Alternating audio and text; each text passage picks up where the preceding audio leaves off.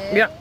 Hello. Hello. Hi. Um, yeah, how is it to be an au pair in Australia? Um, I absolutely love it. My family's amazing. I think I, I got really lucky, and they just, they're really helpful with everything, and helps you see country from a different point of view. Yeah. So it's really good. Uh, what's the best part of it?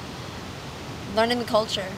Um, because when you live with a family, you actually see how they live, and you don't see it as a tourist. You see like what goes on day to day life, and that's that's why I like traveling, seeing how people go from day to day, and the family is just amazing, and they let me do what I want to do, and so it's really. really Okay. good. And uh, could you recommend it to your best friend back home? Oh instead? yeah, definitely. Yeah. Definitely do it. It's amazing.